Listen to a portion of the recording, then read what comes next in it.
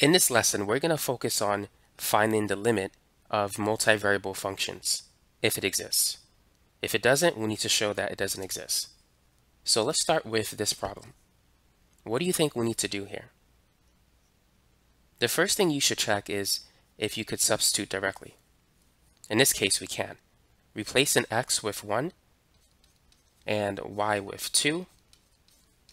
We're going to get this. 1 to the third is 1, 3 times 2 is 6, 2 squared is 4 times 2, that's 8.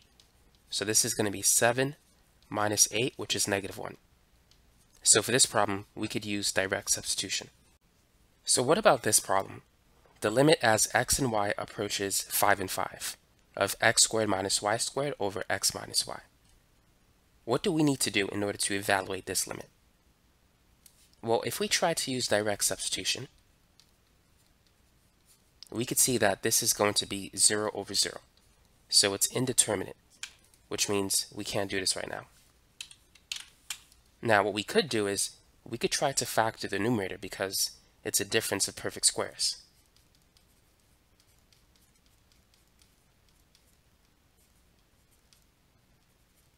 x squared minus y squared, that can be factored into x plus y times x minus y. So at this point, we can cancel one of the factors. So we're left with the limit as x and y approaches 5 and 5 of x plus y. So now at this point, we can use direct substitution. So it's going to be 5 plus 5, which is 10. So that's the answer for this example. Now let's move on to our next example. So we have the limit as x and y are approaching the origin of the expression x squared over x squared plus y squared. What should we do in this example? Well, we could try direct substitution. This will be 0 squared over 0 squared, which is just indeterminate. So direct substitution will not work in this example. Now we can't really factor this expression, nor can we multiply by a conjugate. So we need to see if maybe this limit doesn't exist. So what we're going to do is we're going to approach the origin from different directions and see if we can get a mismatch in our answers. Because if we approach from one direction and get an answer, and if that answer is different as we approach another direction, then the limit doesn't exist. So in a 2D system, this is the x-axis, this is the y-axis. Let's begin by approaching the origin along the x-axis. So along the x-axis, y is 0. So what we're going to do is substitute y for 0 in that expression. So thus we have the limit as x approaches 0, and this is going to be x squared over x squared plus 0 squared, which just x squared plus 0 squared is simply x squared. So this becomes 1. Now let's save that answer. Let's approach the origin from the y-axis. And let's see what answer we get. So along the y-axis, x is always 0. Thus, this is going to be the limit as y approaches 0. And then we need to replace x with 0. So this is going to be 0 squared over 0 squared plus y squared. So we have the limit as y approaches 0 of 0 over y squared, which is 0. So notice that we have a mismatch. Because they're different, that tells us that the limit does not exist as we approach the origin. Go ahead and try this example. So if we try direct substitution, this is going to be 0 over 0, which will be indeterminate. So let's check to see if the limit does not exist like we did before. So let's begin by approaching the origin along the x-axis. So along the x-axis, we know that y is equal to 0. So we're going to have the limit as x approaches 0, and this is going to be, so we're going to replace y squared with 0 squared, and we're going to replace y to the fourth with 0 to the fourth. So we have the limit as x approaches 0. x squared times 0 squared is 0. So we have 0 over x to the fourth, which is 0. So now let's move on to the y-axis. So let's approach the origin, point 0, 0, along the y-axis. In this case, x is going to be 0 along that axis. So we're going to have the limit as x approaches, or rather, as y approaches 0. And then replacing x with 0, we're going to have 0 squared y squared over 0 to the fourth plus y to the fourth. So this is the limit as y goes to 0. 0 squared times y squared is 0. So this whole thing is equal to 0. So because these two values are the same, doesn't mean that the limit exists. So we need to do more work. Let's try approaching the origin using the line y equals x. So we can replace x with y or y with x. Let's go ahead and replace y with x. So everything will be in terms of x. So we'll have the limit as x approaches 0, x squared times x squared over x to the fourth plus x to the fourth. Now, x squared times x squared is uh, x to the fourth, and then 1x to the fourth plus 1x to the fourth is 2x to the fourth. So we can cancel these, and notice that our answer is different. It's 1 half. There's a 1 right here. So because these two are different, that tells us that the limit does not exist as we approach the origin. Here's another one that you could try. So as always, let's begin with uh, direct substitution. By the way, for each of these problems, feel free to pause the video and try it. So y is 0, x is 0, and so we'll have this. This is going to be 0 over 1 times negative 1. So 0 over negative 1 is just 0. So it's always good just to make sure that you could use direct substitution because sometimes you can and that'll be it. So that's it for this problem. Here's another example problem that you could work on. Go ahead and take a minute to try it. So let's begin with direct substitution. So we have 2, x is 0, y is 0, and then 3 times 0 squared plus 0 to the fourth. So that's 0 over 0. That's indeterminate. So direct substitution won't work. So let's see if we can prove that the limit doesn't exist. Let's start with the x-axis, where y is 0. So we're going to have the limit as x goes to 0. And replacing y with 0, it's going to be 2x times 0 squared over 3x squared plus 0 to the fourth. So we have the limit as x goes to 0. 2x times 0 squared is 0. And this is going to be over 3x squared, which is 0. So now let's check the y-axis. As we approach the origin along the y-axis, x is always 0. So we're going to have the limit as this time as y approaches 0. And so it's going to be 2 times 0 times y squared over 3 times 0 squared plus y to the fourth. So this becomes 0 on top over y to the fourth, and that 2 is equal to 0. Now let's try the line y equals x. So we're going to replace y with x. So everything will be in terms of x. So we'll have the limit as x goes to 0. It's going to be 2x times x squared over 3x squared. And then replacing y with x, we're going to have x to the fourth. So this becomes 2x to the third power over 3x squared plus x to the fourth. Now, Let's factor. So in the numerator, we can take out an x squared. So we're going to have 2x on the bottom, we could take out x squared as well. So we're going to have 3 plus x squared. So we can cross out x squared, and then we could do uh, direct substitution.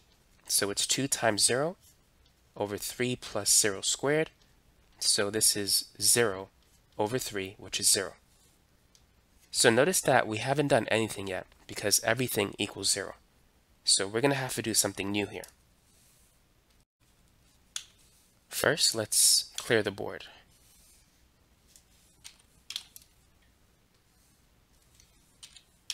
And let's summarize what we've done so far. So as we approach the origin from the x-axis, we got 0 as an answer. As we approach it from the y-axis, we also got 0. And as we approach this from the line y equals x, we also got 0. Now, there are other polynomials, or other expressions rather, that we could use that can still, that includes the point 0, 0. One of them is making y squared equal to x. The graph looks like this. So we could use that curve to approach the origin. And the reason why we want to use this is because if we replace y squared with x, all of the x variables that remain will have the same exponents. And that's what we want to do in this problem. So this is going to be the limit as x approaches 0. Now keep in mind, if y squared is equal to x, y to the fourth is x squared, if we square both sides. So let's replace y squared with x, and then let's replace y to the fourth with x squared. So this becomes a limit as x approaches 0. 2x times x is 2x squared, here we have 3x squared plus 1x squared, that's 4x squared. So x squared cancels, this becomes 2 over 4, which is 1 over 2.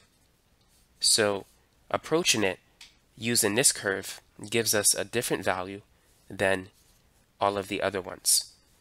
So anytime you approach a limit or approach a point using a limit from two different directions, and if it gives you two different values, the limit does not exist.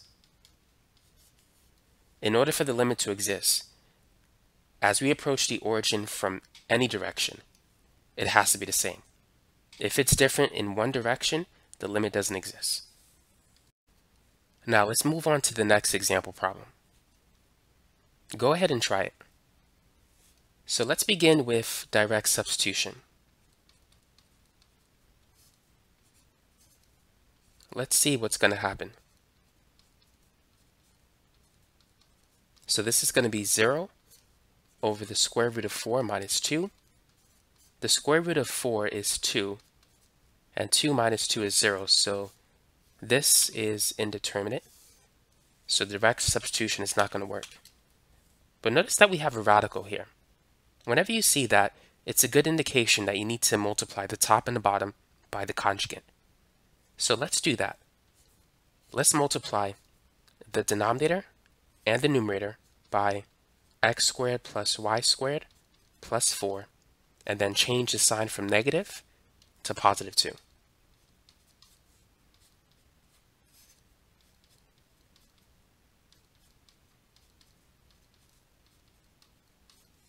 So what we're going to have is the limit as x and y approaches the origin and then on the top, we're going to have x squared plus y squared times the conjugate. It's a lot of writing. Divided by. Now let's focus on the bottom part. When we multiply these two radicals together, the radical will disappear, and we're going to get x squared plus y squared plus 4. Now, when we multiply this radical by positive 2, that's going to cancel with negative 2 and this radical. So the two middle terms will cancel. And then when we multiply negative 2 times positive 2, that's going to give us negative 4. So we can see that 4 and negative 4 will cancel, leaving us with x squared plus y squared. And then x squared plus y squared will cancel. So now what we have left over is the limit as x and y approaches the origin and then this is going to be the square root of x squared plus y squared plus 4 plus 2. So now at this point, we can use direct substitution.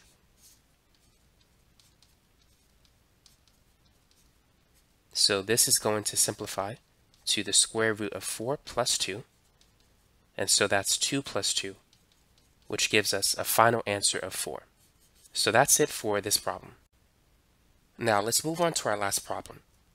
Here we need to evaluate a limit that has an expression with three variables, x, y, and z. If we try to use direct substitution, we can see that it's going to be indeterminate, 0 over 0. So let's try to prove that this limit doesn't exist. So let's approach the origin from the x-axis. If we do so, that means that y is 0, but also z is 0. So we're going to have the limit as x approaches 0.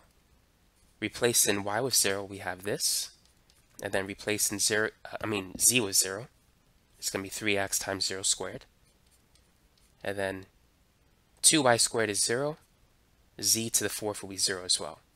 So we have the limit as x approaches 0, and that's going to be 0 over x squared, which is 0. So let's just write this to keep track of what we did. So as we approach the origin from the x-axis, we got 0.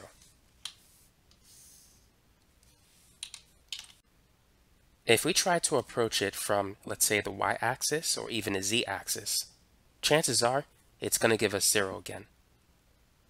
And approaching it from the line y equals x is not going to work because we have three different variables.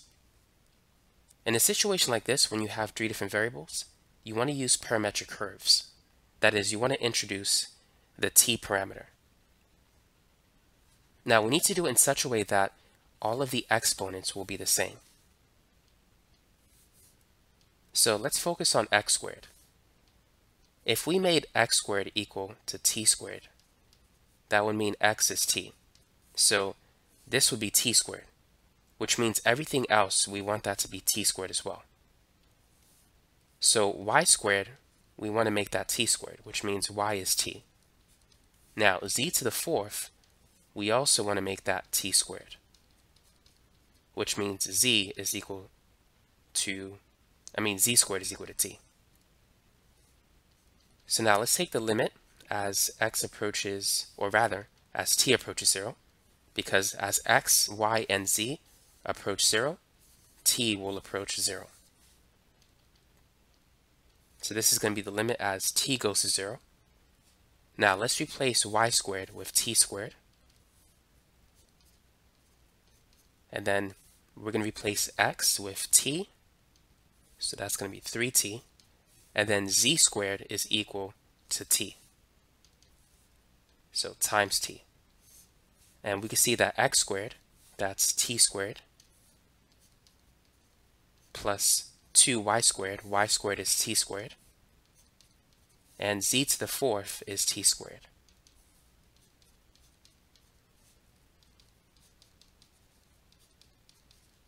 So this is 3t squared plus 1t squared. That makes 4t squared. And let's see. This is 1t squared plus 2t squared plus 1t squared. So that makes 4t squared as well. t squared cancels. This becomes 4 over 4, which is 1. So the fact that it's different than 0 means that the limit does not exist.